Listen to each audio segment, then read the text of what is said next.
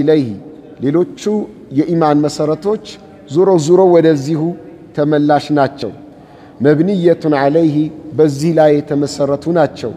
ወልኢማኑ ቢላህ ዐዘ ወጀል ልቅናና ከፍታ ያለው ጌታችን አላህ ስብሓነ ወተዓላ ላይ ማመን ሁወ ልኢማኑ ማመን ማለት ምን ማለት ነው ወደሚለው ስንመጣ ሁወ ልኢማኑ ቢወሕዳንየቲህ ሱብሓነህ ጥራት የተገባው የሆነው ጌታችን አላህ ብቸኛ ነው ብለን እናምናለን።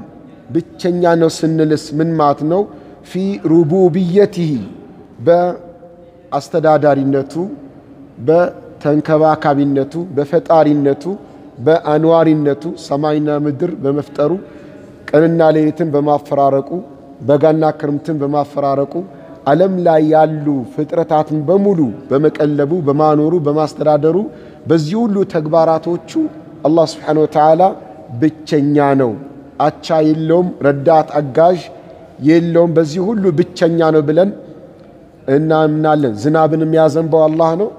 ድርቅም ከመጣ የሚያመጣውም አላህ ነው።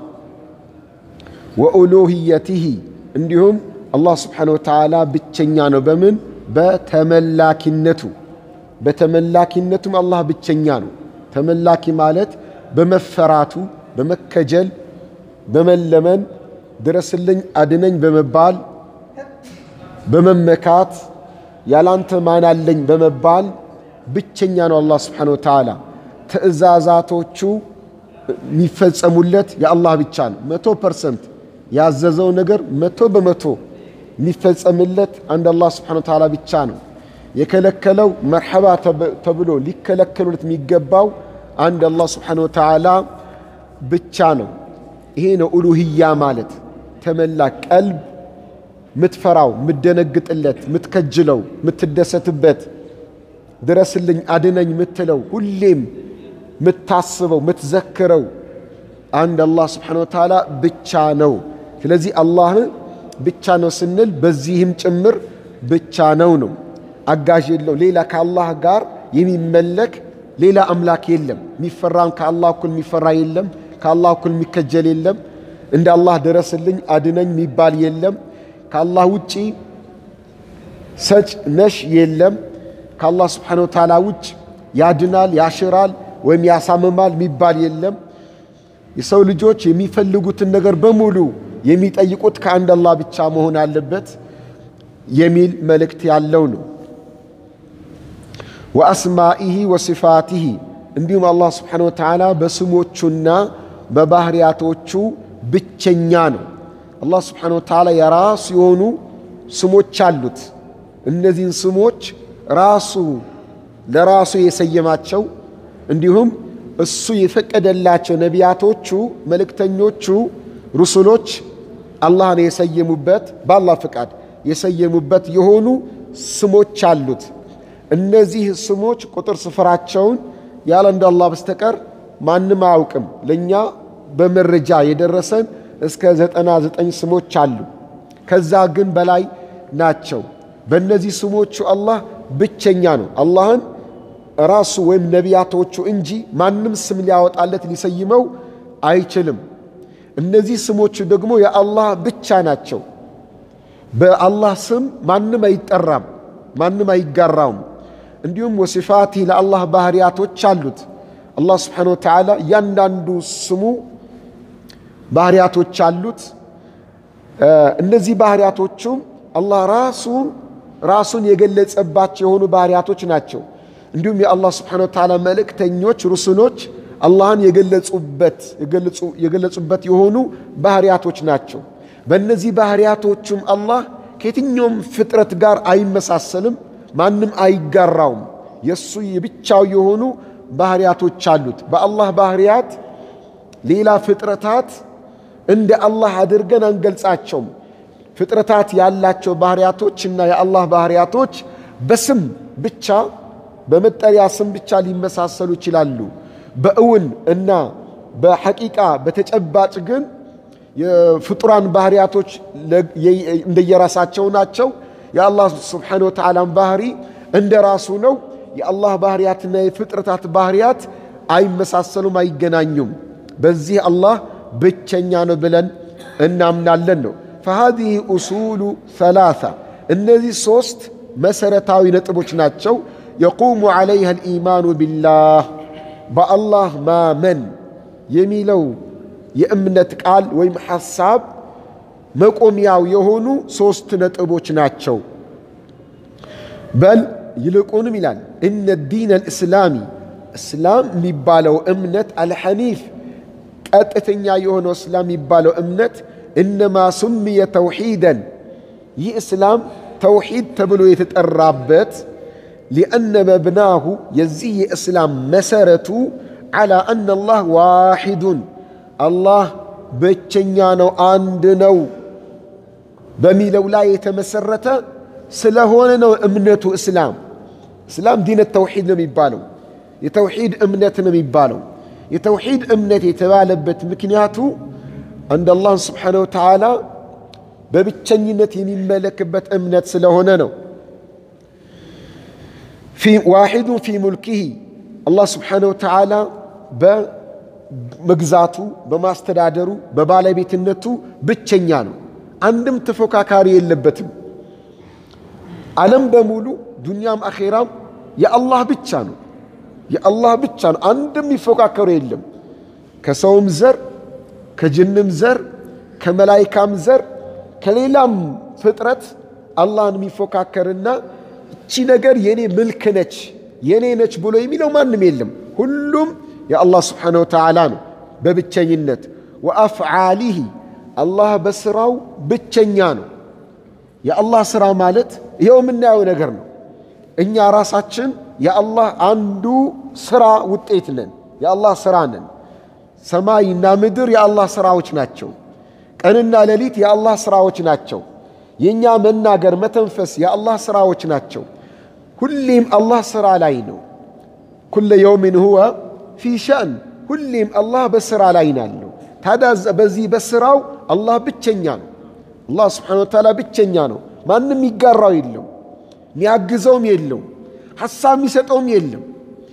በሁለንተናዊነቱ ብቸኛ ነው አላህ ስብሓነሁ ወተዓላ ላ ሸሪከ ለሁ የሚጋራው የለውም፣ የሚያግዘውም ረዳትም አያስፈልገውም። አላህ ስብሓነሁ ወተዓላ የሰው ልጆች ወይም ፍጥረታት በሙሉ መክሉቅ በሙሉ አጋዥ ያስፈልገዋል፣ ረዳት ያስፈልገዋል፣ አማካሪ ያስፈልገዋል። አላህ ስብሓነሁ ወተዓላ ግን አያስፈልገውም። ወዋሒዱን ፊ ዛቲሂ አላህ ስብሓነሁ ወተዓላ በአካሉ በዛቱ ብቸኛ ነው። በ ذات ኡም አንድ ነው። አላህ سبحانه وتعالى ሁለት ذات የለውም፣ አንድ ነው ዛቱ የአላህ ذات። وأسمائه በስሞቹም ብቸኛ ነው። وصفاته በባህርያቶቹም ብቸኛ ነው። لا نظير له አቻ ቢጤ የለውም። وواحد في ألوهيته በተመላኪነቱም አንድ ነው አላህ። وعبادته የምንገዛው በመሆኑ ብቸኛ ነው አላህ።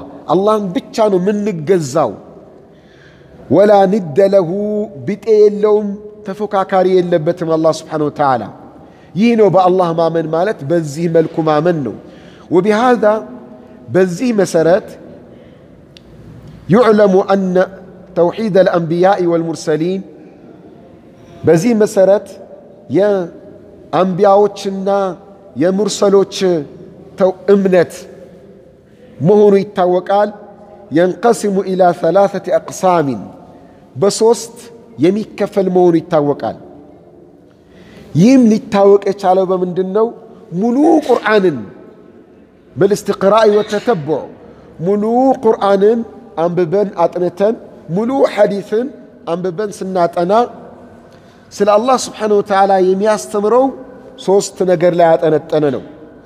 አልቅስሙ ልአወሉ የመጀመሪያው ክፍል ተውሒድ ሩቡብያ በብዛት ቁርአን ላይ የተጠቀሰው ተውሒዱ አሩቡብያ አላህን ስብሓነሁ ወተዓላን በፈጣሪነቱ በአስተዳዳሪነቱ ብቸኛ ማድረግ ነው። ወህወ ልኢቅራሩ ተውሒድ ሩቡብያ ብሎ ማለት ወህወ እሱ አልኢቅራሩ ማመን ነው ማጽደቅ ነው። ቢአነ አላህ ተዓላ አላህ ስብሓነሁ ወተዓላ ረቡ ኩል ሸይ የሁሉም ነገር ጌታ ነው። ኩል ሸይ የሁሉም ነገር ጌታ ነው። የሁሉም ነገር ምናልባት የሁሉም ነገር ሲባል ሁሉም ነገር የምትለዋ ቃል እንደየ ሰው ግንዛቤ ልትለያይ ትችላለች። እንደ ሰው የእውቀት ግንዛቤ አንድ ሰው ሁሉም ነገር ሲባል እቤት ውስጥ ያለውን ብቻ አስቦ የዚህ ሁሉ ጌታ ብሎ ሊያሰላው ይችላል። ሌላው ደግሞ ትንሽ ሰፋ ካለ የከተማ ሁሉ ሊል ይችላል። ሌላው የኢትዮጵያ በሙሉ ሊል ይችላል። ሌላው የዓለም የአህጉራት በሙሉ ሊል ይችላል። እንደ እውቀታችን ኩል ሸይ የሚለው ነገር የሚሰፋው እና አሁንም የምታውቀው ይሁን ወደፊትም የምታውቀው ነገር ይሁን የዛ ሁሉ ጌታ ነው አላህ ስብሓነሁ ወተዓላ። የዛ ሁሉ ፈጣሪ፣ የዛ ሁሉ ተንከባካቢ ነው። ምሁራንም በለው ሳይንቲስትም በለው ግዑዝም የሆነ ነገር ሰውም፣ መላይካም፣ የትኛውም ፍጥረታት የሁሉም ጌታ ነው አላህ ስብሓነሁ ወተዓላ። ወመሊኩሁ ገዢውም ነው አላህ የዚህ ሁሉ ገዥ ነው። ወኻሊቁሁ ይህን ሁሉ የፈጠረ ነው። ወራዚቁሁ ይህን ሁሉ የሚያበላ የሚያጠጣውም አላህ ስብሓነሁ ወተዓላ ነው። አንተና እኔንም የሚያበላን አላህ ነው። ራዚቃችን አላህ ነው። እኛ ራሳችን መረዘቅ አንችልም። ራዚቁ አላህ ነው። ይህ ሐሳብ ራዚቅ አላህ ነው የሚለው ሐሳብ በድሮ ጊዜ በጣም ግልጽና ጭብጥ ነበር ህብረተሰቡ ዘንድ። በአሁን ጊዜ ግን ራዚቅ አላህ ነው የሚለው ነገር አላህ ነው ከሚለው ሐሳብ ይልቅ እከሌና እከሌት ወይም እኔ ራሴን በራሴ ነው ማስተዳድረው የሚለው ሐሳብ ጎልቶና በብዛት ከመወራቱ የተነሳ የአላህ ራዚቅነት እየደበዘዘ ነው በዚህ ትውልድ። ያም ምንድን ነው? ሰበብ ላይ የሚያተኩር ትውልድ በመሆኑ ሰበብ ላይ ትልቁ ትኩረት። ድሮ ድሮ ሰበብ ቢተገበርም ከእያንዳንዱ ሰበብ በጭብጥ የአላህ ቁድራ አለ። ግብርና ነው በብዛት ሰው የሚኖረው አርብቶ አደር ነው ወይም አርስቶ አደር ነው። እነዚህ ደግሞ በግልጽ ከአላህ ጋር የተያዙ ናቸው። ዝናቡን አላህ ካላዘነበው ማንም አያዘንብም። ገበሬ ዝናብ ማዝነብ አይችልም። ገበሬ አፈር ማዘጋጀት አይችልም። ከዘራውን በኋላ ፍሬ እንዲያፈራ ማድረግ አይችልም። ከብቶችንም ደግሞ እንዲወልዱ የሚያደርገው ወልዶም እንዲያድጉ ማድረግ አይችልም። ይሞታሉም ደግሞ አላህ በቀደረው ጊዜ እያየ ይሞቱበታል ከብቶቹም። ስለዚህ ከአላህ ጋር ያለው ትስስር የጠነከረ ነው። የአሁን ጊዜው ግን በተለይ ከተሜው በተለይ ከተሜው ማህበረሰብ ከከተሜውም ደግሞ ባይበልጥ ቀለም ቀመስ የሆነው ቀለም ትምህርት ቀመስ የሆነ ሰው ራዚቅ አላህ ነው ለሚለው ሐሳብ እየደበዘዘበት እየራቀ ያለ ነው። ለምን አዘውትሮ የሚያየው የሚያስበው የሚናገረው መስራት፣ መማር፣ መስራት፣ መፈላሰፍ እንዲህ ሲሆን አንድና አንድ ሲደመር ሁለት ይሆናል። ይህ ማለት በሳይንሱም በምኑም በምኑም በምርቱም በምኑም በዛ ላይ ከፍተኛ ትኩረት ከማድረጉ የተነሳ የአላህን ቃዲርነት የአላህን ራዚቅነት ውስጡ ላይ እየደበዘዘበት እየጠፋበት የሚሄድም ሰው ስላለ እንደ አዲስ ውስጣችን ላይ እንዲያንሰራራ ልናደርገው ይገባል የአላህን ራዚቅነት። ለዚህ ነው ትሰማላችሁ አራርቃችሁ ውለዱ የሚለው ቃል፣ የቤተሰብ ምጣኔ የሚለው ቃል በብዛት ልጅ ለምን አትወልድም ሲባል ደሞዜ እኮ ትንሽ ነች፣ የገቢ ምንጭ የለኝም የሚለው ላይ ነው አእምሮ። አንዳንዱም በግልጽ ይናገረዋል፣ ሌላው ደግሞ በግልጽ ባይናገረውም በውስጡ ግን ያስበዋል። ይህን ነገር በውስጡ ግን ያስበዋል። ይህ ነገር ለምን ሊመጣ ቻለ ከተባለ የአላህ ራዚቅነት እየደከመ ስለሄደ በሱ አእምሮ ወይም ደግሞ ሰዎች ብዙ ጊዜ ያወሩታል፣ በሚዲያው ይወራል በተለያየ አቅጣጫ ስለሚወራ ብዙ ጊዜ ይሰማል፣ ያያል። ከዚህ አንጻር እየደከመ የመጣ የሆነ የእምነት አካል ነው የአላህ ራዚቅነት። ስለዚህ እንደገና እንዲያንሰራራ ልናደርገው ይገባል ነው። ወአነሁ አልሙሕይ አልሙሚት አኗሪ ሚያኖርም አላህ ነው፣ ሚያሞትም አላህ ነው።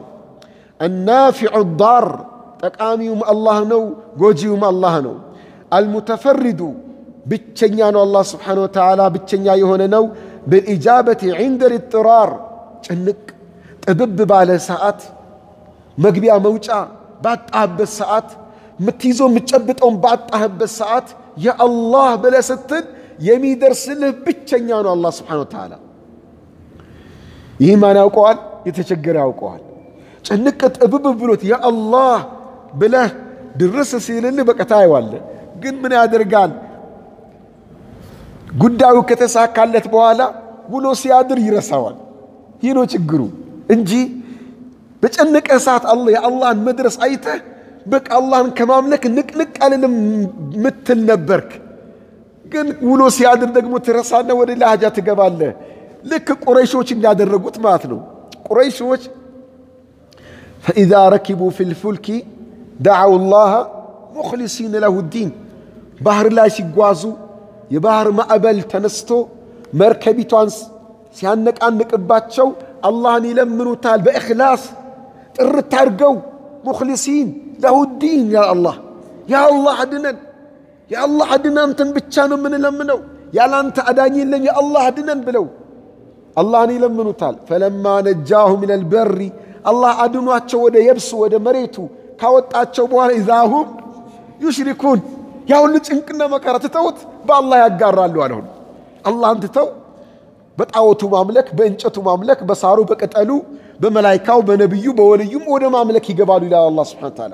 ወደ ሽርካቸው ይመለሳሉ ስለዚህ አላህ ምንድን ነው ራሳችሁ እንኳን አትታዘቡም ወይ ነው የሚለው አላህ ይህን ሲነግረም ማለት ነው ቅድም በችግር ጊዜ የደረሰላችሁ አላህ እንዴት በሰላም ጊዜ አታመልኩትም እያለ ነው አላህ የሚናገረውና ጭንቅ ጥብብ ባለበት ጊዜ አንድ ሰው ደራሽ የሆነ አላህ ብቻ ነው። አለዚ ለሁ ልአምሩ ኩሉ ነገር ሥራ ሁሉ የብቻው የሆነው አላህ ስብሓነሁ ወተዓላ ነው። ወቢየዲህ ልኸይሩ ኩሉ ኸይር የተባለ ሁሉ በአላህ እጅ ነው። ወኢለይህ ዩርጀዑ ልአምሩ ኩሉ ነገራት ሁሉ ወደ አላህ ስብሓነሁ ወተዓላ ተመላሾች ናቸው። ላ ሸሪከ ለው ፊ ዛሊከ በእነዚህ ነገራቶች አላህን የሚጋራው አንድም ምንም የለም። አንደኛው ይሄ ነው ተውሒድ ሩቡብያ ማለት በዚህ ማመን ነው። በሌላ አባባል ተውሒድ ሩቡብያ ማለት አላህን በስራው ብቸኛ ማድረግ ማለት ነው። በሚሰራው ስራ ብቸኛ ማድረግ። የተጨነቁ ሰዎችን ከጭንቃቸው የፈረጀው ማን ነው? አላህ። ስራው ነው፣ አላህ ነው የፈረጀው። እከሌ ነው ቢሉም እንኳን ተፈራጆቹ ጠንቋዩ ጋር ሂጄ ዳንኩኝ ብሎ ቢልም የከሌ ሕርዝ የሚያስር ሰው ጋር ሂጄ ተሻለኝ ብሎ ቢልም ለከብት አርጄ ቢልም እንኳን አድራጊ ግን ማን ነው? አላህ ስብሓነሁ ወተዓላ ነው። ሐቂቃ ያን ሰው የፈወሰው ማን ነው? አላህ ነው እንጂ ጠንቋዩ አይደለም፣ ወይም ድንጋዩ አይደለም፣ ወይም እንጨቱ። ያ ስለት ተስሎ ለሆነ ነገር ስለት ተስሎ ቢሳካለትም ያሳካው ማን ነው? አላህ ነው። ያ የተሳለለት ነገር አይደለም፣ አሳኪው አላህ ነው። ግን ሰውየው መንገድ ሳተ፣ ከአላህ ጋር ተጣላ እንጂ አሳኪው አላህ ስብሓነሁ ወተዓላ ነው። በአላህን በተግባራቶቹ ብቸኛ ማድረግ ነው ተውሒድ ሩቡብያ ማለት። አልቅስሙ ሳኒ ሁለተኛው የተውሒድ ክፍል ተውሒዱ ልአስማኢ ወሲፋት አላህን ስብሓነሁ ወተዓላ በስሞቹና በባህርያቶቹ ብቸኛ ማድረግ ነው። ይህም ማለት ወህወ ኢፍራዱ ላህ ተዓላ አላህን ብቸኛ ማድረግ ቢማ ሰማ በሰየመው ነገር ራሱን ወወሰፈ በገለጸው ነገር ነፍሰው ራሱን ፊ ኪታቢሂ ይህ ናም አልቅስሙ ሳኒ ሁለተኛው ክፍል ተውሒድ ልኡሉሂያ አላህ ስብሓነ ወተዓላን በተመላኪነቱ ብቸኛ ማድረግ። ይህ ደግሞ ምን ማለት ነው? ባሪያዎች በስራቸው አላህን ብቻ ማሰብ ማለት ነው። ኢፍራዱ ላህ ተዓላ ቢአፍዓል ልዕባድ እኛ በምንሰራው ስራ አላህን ብቻ ማሰብ ማለት ነው። ተውሒድ ኡሉህያ ማለት ስንሰግድ ለአላህ ብቻ ብሎ መስገድ፣ ስንጾም የኛ ጾም የኛ ነው፣ ለአላህ ብቻ ብሎ መጾም፣ ስንቀራ ለአላህ፣ ሐጅም ለአላህ፣ ዘካውም ለአላህ፣ ቁርአኑም ለአላህ፣ ዝክሩም ለአላህ፣ ወደ መስጂድ ስንመጣም ለአላህ ብለን እርስ በርስ ስንደጋገፍ ስንተባበርም ለአላህ ብለን እኛ በምንሰራው ስራ አላህን ብቻ አስበን መስራት ማለት ነው። ይህ ነው ተውሒድ ልኡሉህያ ማለት። እኛ ደግሞ የምንሰራው ስራ ስራው ከአላህ የመጣ የሆነን ስራ ነው። መመሪያው ከአላህ ስሩት ተብሎ የመጣን ስራ ለአላህ ብቻ ብሎ መስራት ማለት ነው። ከአላህ ስሩት ተብሎ ያልመጣን ስራ ለአላህም ብለን ብንሰራው አላህ አይቀበልም። ማን አዘዘህ ትባላለህ። ያአላህ ለአንተ ብዬ እኮ አፈር በላው ብለህ ብትል ማን ብላለህ ነው የምትባለው። ማን ብላለህ? አይኔ እኮ ለአንተ ብዬ ነው። አይሰራም። አላህ አይቀበልህም። አላህ ስሩት ብሎ ያለውን ነገር ነው ለአላህ ብለን የምንሰራው እንጂ አላህ ስሩት ያላለውን ነገር ለአላህ ብዬ ሰራው ብለህ ብትል አራቦና ቆቦ ነው፣ አይገናኝም። ምንም አይገናኝም። ድካም ብቻ ነው የሚሆነው። ተውሒድ ልኡሉህያ የሚባለው ወህወ እሱ እፍራዱላሂ አላህን መነጠል ወሕዶ ብቻውን ብዙሊ ብዙሊ በመተናነስ ራስን ዝቅ ዙል ራስን ዝቅ ማድረግ ራስን ዝቅ ማድረግ ወልኹዱዕ መተናነስ ዙል ማለት በቃ ውስጥህ ላይ ውድቅ ማለት ነው። አንተ ምንም አንተና አላህን ስታስብ በጣም ደካማ መሆንን ማሰብ አለብህ። በቃ ዘሊል ወራዳ ደካማ ምንም የሌለ አይነት ስሜት ውስጥ ላይ ሊሰማህ ይገባል። ይህ የቱ ጋ ነው በብዛት የሚከሰተው? ዱዓ ላይ በብዛት ዱዓ ላይ ሰላት ላይ አሁን سجود የምንወርደው ይሄ እኮ ነው። سجود سجود ን እኮ እኛ አናስተውለውም እንጂ እያስተወልን አንሰግድም እንጂ ለአላህ ከፍተኛ የሆነ የመተናነሻ ቦታ ነው። ትልቅ የ عبادة ቦታ በቃ አላህን ለማምለክ ምርጥ የ عبادة ቦታ ማለት አላህን ለማምለክ سجود ነው።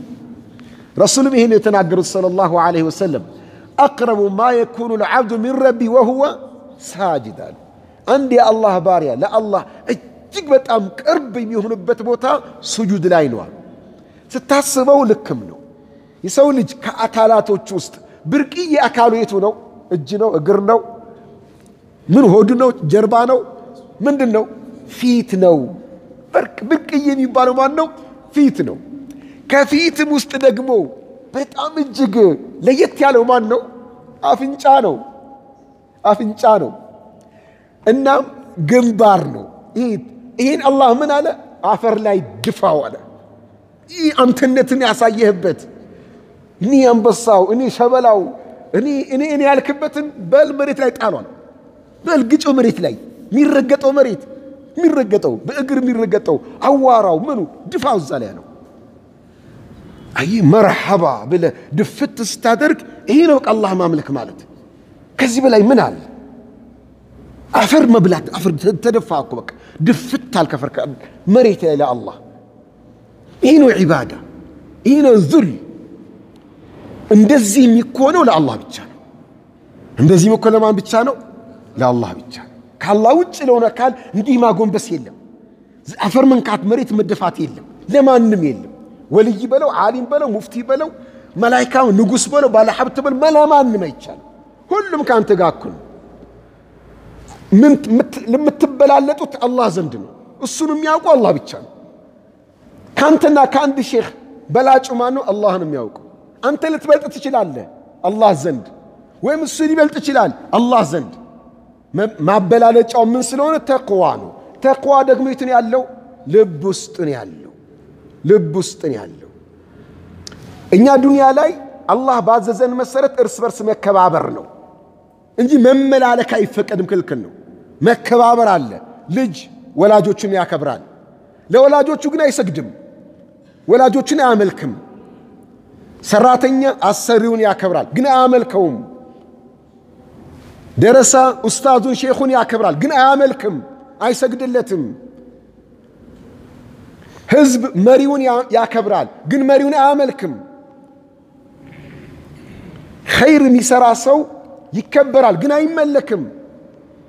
አይመለክም ማለት ምንድን ነው? ለአላህ የሚደረገው ለእነዚህ አካላቶች አይደረግም። አናጎነብስም፣ አንሰግድም፣ አንሽቆጠቆጥም፣ በውስጣችን አንከጅላቸውም፣ ወዘተ። ግልጽ ነው። ለምሳሌ ሰላት እየሰገድክ አጠገብህ አንድ ሼክ ዓሊም ቆመዋል። ምን ብለህ እያሰብክ ነው? በቃ ሼኹ ጋር ቆምኩ፣ ሼኹ ማሻአላህ ሳሌሕ ልጅ ነህ፣ ጥሩ ትሰግዳለህ እንዲሉህ ብለህ የሌለ ሐርፍ የምታወጣ ከሆነ የሌለ እንቅስቃሴ የምታሳይ ከሆነ ሰውየው ሼኹ ምናልባት ሌላ ቦታ እያሰቡ ነው። በአላህ ፍቅር ምስጥ ብለዋል። ከአጠገባቸው መኖርህንም አያውቁህም። አንተ ግን እሳቸውን እያሰብክ ትሰግዳለህ። ይሄ ነው ሪያ፣ ይሄ ነው ስምዓ። ዒባዳ ተበላሸ። በዚህ መልኩ መሆን የለበትም። ወይም ደግሞ አጠገብ ባለ ሀብት አለ እየሰገደ ነው። አንተ በቃ ሙእሚን ነው ብለህ ወይ ሰደቃ ይሰጠኛል፣ የሆነ ነገር ይረዳኛል፣ ይደግፈኛል እያሰብክ ትሰግዳለህ። እሱ እዚህ ዓለም የለም። የአንተን መኖርም ረስተዋል፣ ሌላ ቦታ ነው ያለው። ይህ አይፈቀድም፣ ክልክል ነው። ሐታ አክብሮቱ ዑለማዎችንም ባለሀብቶችን ኸይር የሚሰሩ ባለሀብቶችን፣ ወላጆችን፣ ታላላቆችን፣ ደጋጎችን ስናከብር አክብሮቱ ወደ አምልኮ በማይወስድ መልኩ መሆን አለበት። እነሱንም በማይፈታተን አንተንም ዝቅ በማያደርግ መልኩን መሆን አለበት። አንድ ጊዜ አንድ ዓሊም ነበሩ አሉ። ምርጥ የአላህ ባሪያ ናቸው። በጣም ታዋቂ ናቸው። በጣም ታዋቂ ናቸው። ጀግናም ናቸው። ህዝብ ሁሉ ይሰማቸው ላዳምጣቸዋል። መስጂድ ሲገቡ የሆነ ቦታ ስብሰባ ቦታ ሲደርሱ ሰው ሁሉ መንገድ ይከፍትላቸዋል። መንገድ ይከፍትላቸዋል፣ ይገባሉ። ገቡና አንድ ቀን ወደ ህዝቡ ዞር አሉና እናንተ ሰዎች አሉ በእንዲህ አይነት ተግባራቶቻችሁ ነው ባለስልጣኖቻችሁን ያባለጋችሁት አሉ። ባለስልጣኖቻችሁ አምባገነን ያደረጋችሁት እናንተ ናችኋል። በምን በእንደዚህ አይነት ተግባራችኋል። ባለስልጣን ሲመጣ እየተንቀጠቀጥክ ተኮፈሰ። ባለሀብት ሲመጣ ዙር እንዲህ ያልክ ተኮፈሰ። ሼክ መጡ ዓሊ መጡ ብለህ መውጭ ድንግጥግጥ ስትል ተኮፈሰ። ሰውን የምታባልጉት እናንተ ህዝቦች ናችኋል። ጥፋተኛው ህዝብ ነው። መንግስትም ያበላሽ ህዝብ ነው። ዓሊምንም ከተበላሸ ያበላሸው ማን ነው? ህዝብ ነው። ደረጃው ላይ ብቻ አስቀምጠው። ከደረጃው በላይ ከፍ ስታደርገው ይሰናብሃል፣ አምባገነን ይሆንብሃል። መልሶ አንተኑ ይገርፋል፣ አንተኑ ያሰቃያል። በደረጃው ብቻ አስቀምጠው። ዓሊምም በለው ሙፍቲም በለው ሼክ በለው ዳዒ በለው ባለስልጣን ባለሀብት፣ በደረጃው ብቻ የሚገባውን ክብር ብቻ ነው እንጂ መስጠት ያለብህ መሽቆጥቆጥ የለብህም። ድንግጥ ፍርት ማቴ ላበላበትሁን እንዲህ መሆን የሚገባው ለማን ነው? ለአላህ ነው። ይህ ነው ተዘሉል ኹዱዕ ለአላህ ብቻ ነው የሚገባው። ይህ ነው ተውሒድ አልኡሉህያ ማለት። ይህ ነው ዒባዳ ማለት። አላህ ጋር ስትመጣ ሰላት ስትሰግድ አላሁ አክበር እያፋሸክ እያልክ እያከክ ምን እያልክ ስልችት ብሎ አሰላሙ አሌይኩም ውልቅ ትላለህ። ባለስልጣን ጋር ስትሄድ ደንግጠሃል፣ ፈርተሃል፣ አካሉ ሊንቀጠቀጣል። ወይም ባለሀብት ጋር ስትሄድ ትሽቆጠቆጣለህ። የቱ ነው ታዲያ ዒባዳ የሚባለው? ሰላቱ እኮ አይደለም ዒባዳ። ዒባዳው ባለስልጣን ጋር ሂደ ያሳይኸው ስሜት ነው ዒባዳ የሚባለው። ተዘልሉ ኹዱዑ እሱ ነው ዒባዳ። እሱ ነው ለአላህ ማድረግ ያለብህ። እንደዚህ አይነት ስሜት የሚገባው አንድ አላህ ስብሓነሁ ወተዓላ ብቻ ነው። እኛ እኚህ ዓሊም ይላሉ ባለስልጣኖችም ይሁኑ ባለባቶችም ይሁኑ ባለሀብቶችም ዑለማዎችን የምታባልጉትና የምታበላሹት እናንተ ናችሁ። አከበርን ብላችሁ የምታመልኳቸው የተመለኩ ሲመስላቸው ነፍሳቸው እበጥ ትላለች። ለዚህ ነበር ረሱል ሰለላሁ ዐለይሂ ወሰለም ሰው በተቀመጠበት ከመጡ የቱ ጋር ነበር የሚቀመጡት? ዳር በደረሱበት ነው። መሀል አይመጡም። በደረሱበት ነበር የሚቀመጡት። በጣም ይጠሉ ነበረ። ለየት ያለ እንቅስቃሴ እንዲደረግላቸው በፍጹም አይፈልጉም ነበር። ሰው እንኳን አለቃችን ሲላቸው አቁም፣ አለቃ አላህ ነው አትበል ነበር የሚሉት። ይከላከሉ ነበረ። ብዙ የተከላከሉበት ነጥብ ወይም ጊዜ አጋጣሚዎች አሉ። ለምን ሰው ድንበር እንዳያልፍ ድንበር እንዳያልፍ። አሁን አንተ ቤት ስትገባ ምስት ልጆች ብድግ ከላሉ ቅር ይልሃል። ምንድን ነው ድንጋይ ናቸው ባላችሁ ቁጭ የምትሉት? ሰው ሲመጣ ብድግ አትሉም? ምንድን አንተ ብድግ የሚባልልህ? ምን ስለሆንክ? ቦታ መንገዱ ጠቧል። ቦታው መሄጃ የለም። በማክበር ሽፋን እየተመለከ ነው የሰው ልጅ። አንዱ አምላክ እየሆነ ነው፣ ሌላው ደግሞ አምላኪ ተመላኪና አምላክ እየሆነ ነው። በምን ሽፋን? በማክበር ሽፋን። ይህ መሆን የለበትም። ይህ ውስጥ ያለ ፍርሃት፣ ድንጋጤ፣ ተዘሉል ኹዱ የሚገባው ለአንድ አላህ ስብሓነሁ ወተዓላ ብቻ ነው። ወልመሐባ ፍቅርም ለአላህ ነው የሚገባው። ቀልብህን ጥለህ የምታፈቅረው ማን መሆን አለበት? አላህ አላህ። ቀልብህን ጥለህ የምትፈቅረው የምታፈቅረው ሰው በተቃራኒ ጾታ ላይ ነው ይህ ያለው። ያላንቺ ያልበላልኝ አለኝ፣ ያላንተ እንቅልፍ አይወስደኝም፣ እንዲሁ አንቺን ሳስብ ሁሉን ነገር ረሳለሁ። እንደዚህ አይነት ራስን የሚያስረሳ ፍቅር ለማን ነው መሆን ያለበት? ለአላህ ለአላህ ነው። ደካማ ነህ ካልተፈቅራል ያ ለምን ትሞኛለህ? እንዲህ እኮ የምታፈቅራት አንተ ረስተሃለች። ምን አታውቅም። አንተ ግን በቀልብን ጥለህ ወደ እሷ ሂዷል። ከባድ ወንጀል ነው፣ ጥፋት ነው። እሷም በተቃራኒ እንደዚሁ የሆነ ቃል ታፈቅራለች። በጣም እሱ አያውቃት ምንም ወይም ትቷት ሊሆን ይችላል። አዎ ባልና ሚስት መዋደድ አለባቸው። በገደብ በደረጃ በደረጃ ራስን የሚያስት ፍቅር ለማን ብቻ ነው የሚሆነው? ለአላህ። ዙበይር አንድ ሰሓቢ ነበረና መርዋን ይባላል የአብደላህ ብን ዙበይር ልጅ ነው እና አንዴ እግሩ ታመመና እግሩ ታሟል። ስለዚህ መቆረጥ አለበት አሉ ባለሙያዎች። እግሩን ሊቆርጡት ስለሆነ አልበዛ ይሰራጭና ወደ ሌላውም አካል ይዳረሳል፣ ይቆረጥ አሉት። ፍቃደኛ ሆነ። ታዲያ እንዴት እንቁረጥ? ምን ይሻላል? ማደንዘዣ ነገር አልበዛ አንችልም አሉት። ስለዚህ አስካሪ መጠጥ ውሰድ፣ ራስን ያስትሃል፣ ይዛን እንቆርጣለን አሉት። አረ በፍጹም አላደርገውም አለ። በጤንነት ጊዜ ያልወነጀልኩትን አላህ በችግር ጊዜ ለወነጅለው አላደርገውም አለ።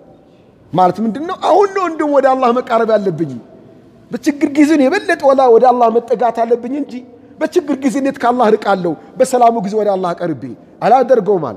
ታዲያ እሺ ምን ይሻላል? እሺ በቃ ሰላት ሲሰግድ የፈለጋችሁትን አድርጉ፣ ሰላት ሰግድላችኋለሁ ሰላት ጀመረ። ሰግዶ እስኪያበቃ ድረስ ቆርጠው ጥለው ቦታውን በእሳት ተወክሰው ደሙ የሚፈሰውን ደም ለማቆም ተወክሰው ጨርሰዋል። ሲያሰላምት አንዱ እግር የለም ተቆርጠዋል።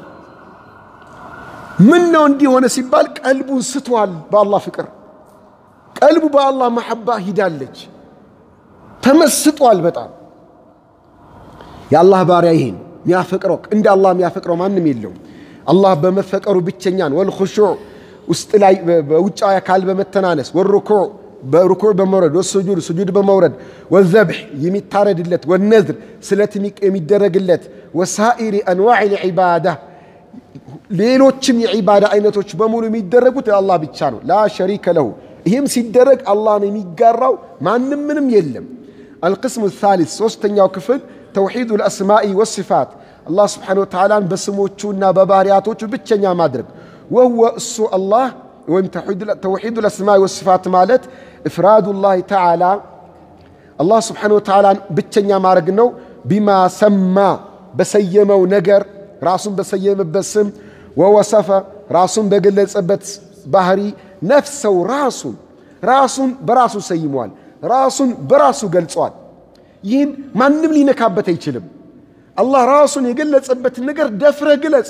እሱ ለራሱ የሰየመውን ነገር እንዴት አንተ በዛ ነገር አላህን መሰየም ታፍራለህ? ዴ በአላህ አምኛለሁ የምትለው ታዲያ ምኑ ላይ ነው? እኔ እንደዚህ ነኝ ብሎ ራሱን ገለጸ። ለምሳሌ አራሕማኑ ዓላ ልዓርሽ እስተዋ አራሕማን ከዓርሽ በላይ ነው አለ። ይህን ያለው ማን ነው? አላህ። አላህ የተናገረውን አንተ መናገር ካፈርክ በማን ታፍራለህ ማለት ነው? በአላህ ላይ በማመንህ አፍረሃል ማለት ነው። እና በማን ማመን ትፈልጋለህ? በሰዎች አባባል ምን በሚለው ካን አላሁ ቢላ መካን አላህ መውጁዱን ቢላ መካን አላህ ያለ ቦታ ነው ያለው የሚለው የሰዎች አባባል ነው። የሰዎችን አባባል ስትናገር አታፍርም። የአላህን ንግግር ስትናገር ታፍራለህ። እናንተ አማኝነት በማን ነው? በአላህ ነው የምታምነው ወይስ በሰዎች ነው የምታምነው? አደጋ ነው እምነት ላይ የሚሆነው። ፊ ኪታቢሂ ይህን ሴት ነው የምናገኘው። አላህ ራሱን የሰየመባቸውን ስሞች ስሞች አላህ ራሱን የገለጸባቸውን ባህሪያቶች የት ነው የምናገኛቸው? ፊ ኪታቢሂ በቁርአን ውስጥ ነው የምናገኛቸው፣ ሌላ ቦታ አይደለም። የት ነው የምናገኛቸው? በቁርአን ውስጥ ነው የምናገኛቸው። በቁርአን እንዲሁም ወዓላ ሊሳኒ ነቢይህ ሰለላሁ ዐለይሂ ወሰለም በነቢዩ ሰለላሁ ዐለይሂ ወሰለም አንደበት በሱናቸው ነው የምናገኘው። ከዛ ውጭ ሌላ ቦታ አይገኙም። ተግባባን? የአላህ ስም የት ነው የሚገኘው? በቁርአንና በሱና። የአላህ ባህርያት የት ነው የሚገኙት? በቁርአኑና በሱና። ከዛ ውጭ አይገኝም። የትኛውም ሼክ ጻፎ ቢባል የትኛውም ዓሊም የትኛውም ሙፍቲ በጻፈው ክታብ ውስጥ አይደለም የሚገኘው። ምንጩ የት ነው? ቁርአንና ሱና ብቻ። መዳን ከፈለክ ይኸው የመዳኛው መንገድ። መጥፋት ፈልጋለሁ ካልክ ያንተ ምርጫ ነው። ስለ አላህ በቁርአን በሐዲስ የተነገረውን ትተህ ግለሰቦች የጻፉትን ግለሰቦች የተናገሩትን በሼክ ስም በወልይ ስም የተናገሩትን ይዘህ ተጓዝ። አኼራ ታገኘዋለህ ዋጋህን። ጀነት ነው የምትፈልገው፣ አላህን ነው የምትፈልገው፣ ትክክለኛ እስላምን ነው የምትፈልገው። አለል ኪታቢ ወሱና ኪታብ ቁርአንና የነቢዩ ሱና ላይ ብቻ ነው የምታገኘው። ከዛ ውጭ ባለ ቦታ አይገኝም። ምንጩ ይህ ነው። ሌሎቹ ሰውኛ ናቸው፣ የሰው አባባሎች ናቸው። ቁርአንና ሱና ግን معصوم ነው፣ እንከን የለሽ ነው። መቶ percent OK ነው። የሰው የጻፈው ግን ሊሆንም ላይሆንም ይችላል። ለዚህ እኮ ነው እከሌ ሼክ በከሌ ሼክ رد ያደረገ እከሌ ሼክ በከሌ ሼክ رد ያደረገ። رد በ رد ነው። ይህ በዚህ رد ያደርጋል፣ ያ በዚህ رد በአላህ ላይ ረድ ያደረጋለ እንዴ? የለም። በረሱል ላይ ረድ ያደረጋለ የለም። ማንም ረድ ያላደረገበት መጽሐፍ ማን ነው? አልኪታብ ወሱና ቁርአንና የነቢዩ ሱና ብቻ ነው ንጹህ። ሌላው ውሳ ረድ የተደረገበት ይህም ረዳለ፣ ይህ በዚህ ይሄ በዚህ አህመድ በሙሐመድ ሙሐመድ በአሕመድ አብደላህ በኢብራሂም ኢብራሂም በአብደላህ ረድ በረድ ነው። ለምን? የሰው ስራ ስለሆነ ሰው ነው። ሰው በሰው ላይ ረድ ሊያደርግ ይችላል። የሰው ስራ ነው። ይህም በራሱ አመለካከት ጻፈ ያ ይመጣና አይ ልክ አይደለም እንደዚህ ነው፣ አይ ልክ አይደለም እንደዚህ ነው። رد በ رد خلاف خلاف አለበት ይላል። خلاف ያለው ማ ጋ ነው? ሰዎች ጋር ነው خلاف ያለው። ቁርአንና ሱናው ጋር خلاف የለም። خلاف ኡ ማ ጋ ነው? ዑለማዎች ተካልፈውበታል። እነማን እንጂ ተካለፉት? ዑለማዎች ናቸው። ቁርአንና ሐዲሱ ግን አልተካለፈም። እሱ ልክ ነው፣ ንጹህ ነው፣ طهارة ነው። خلاف ያለው ማ ጋ ነው? እነ ሰዎች ጋር ያለው አንዱ ከአንዱ ከለፈ፣ አንዱ አንዱን ከለፈ፣ አንዱ አንዱን ከለፈ። ኸላስ እነሱ ወደ ጎን ተዋቸውና ና ወደ ቁርአን ወደ ሱና ምንም ኺላፍ የሌለበት ወለው ካነ ሚን ዒንዲ ገይሪ ላሂ ለወጀዱ ፊህ እክትላፈን ከሲራ አለ አላህ። ይህ ቁርአን ወይ ነቢዩ ሱና እስላም ከአላህ ውጭ ከሆነ አካል የመጣ ቢሆን ኖሮ ብዙ ኺላፍን ያገኙበት ነበር አለ። ለምን ፍጡራን ነው የተናገረው። ሰው ፍጡር የተናገረው ግን ኺላፍ ይወጣበታል። ለምን አንዱ ከአንዱ ስለሚበልጥ፣ አንዱ አንዱን ስለሚንቅ፣ ለአንዱ የተገለጸለት ሌላው አይገለጽለትም። ኺላፍ የሌለበት ንጹሕ እስላም የቱ ጋር ያለው አለል ፊል ወሱነ ፈቀጥ ወተንዚሂሂ እንዲሁም አላህን ስብሓነ ወተዓላን እናጠራዋለን አን ነቃኢሲ ከጎደሎ ነገራቶች በሙሉ። ወልዕዩቢ ነውር ከሆኑ ነገራቶች በሙሉ። ወሙማሰለት ልኸልቂ ፍጥረታትን ከመምሰል አላህን እናጠራዋለን። ፊማ ሁወ ሚን ኸሳኢሲሂ የአላህ የግሉ በሆኑ ነገራቶች ከየትኛውም ፍጥረት ጋር አይመሳሰልም እንላለን። ወልኢቅራሪ እናምናለን እናጸናለን ቢአነ አላህ ቢኩል ሸይን ዓሊም አላህ ስብሓነ ወተዓላ ሁሉን ነገር አዋቂ ነው። ወዓላ ኩል ሸይን ቀዲር በሁሉም ነገር ቻይ ነው። ወአነሁ ልሐዩ ልቀዩም አላህ ስብሓነ ወተዓላ ነው ሁሌም ሕያው የሆነ አልቀዩም ሁሉንም ያቆም የሆነ በራሱ ቆሞ ሁሉንም ያቆም በራሱ ተብቃቅቶ ሁሉንም ያብቃቃ የሆነ አለዚ ላ ተእኹዝሁ አላህ ያ ነው የማትይዘው የሆነ ሲነቱን ማንገላጀት የለበትም፣ ወላ ነውም እንቅልፍም የለበትም። ለሁል መሺአቱ ናፊዛ ተፈጻሚነት ያለው ፈቃደኝነት ወይም ፍላጎት ኢራዳ የአላህ ብቻ ነው። ወልሕክመቱ ልባሊጋ ድካ የደረሰ ጥበባዊነት ምክንያታዊነትም የአላህ ስብሓነ ወተዓላ ብቻ ነው። ወአነሁ ሰሚዑን በሲር አላህ ስብሓነ ወተዓላ ሰሚ ነው፣ ተመልካች ነው። ረኡፉ ረሒም በጣም አዛኝ ሩህሩህ ነው። ዐለል ዐርሽ እስተዋ ከዐርሽ በላይ የሆነ ነው።